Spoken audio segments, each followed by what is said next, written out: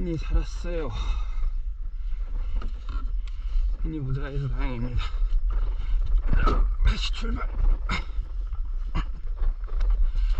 가자. 어디로 갈까? 후.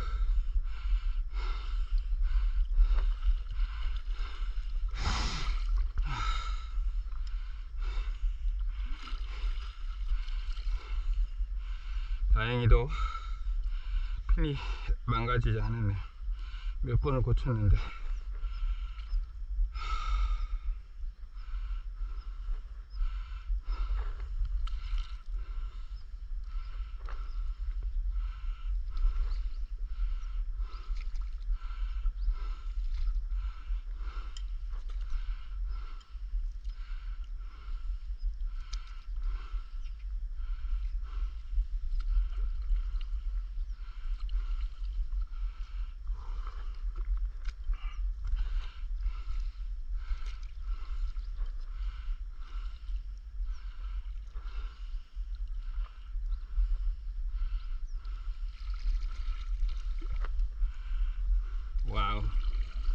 수심이 낮은 데는 엄청 낮구나.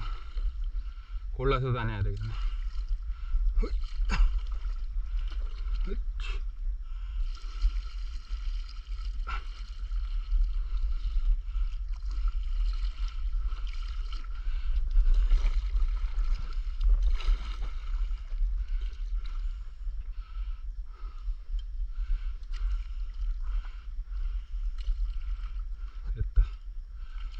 비슷한 수심이네.